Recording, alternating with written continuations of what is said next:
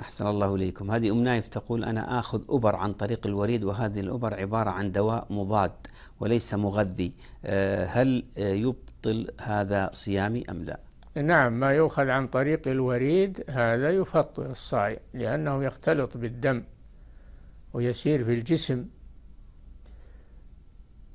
وأما ما كان يؤخذ عن طريق العضل فلا يفطر الصائم.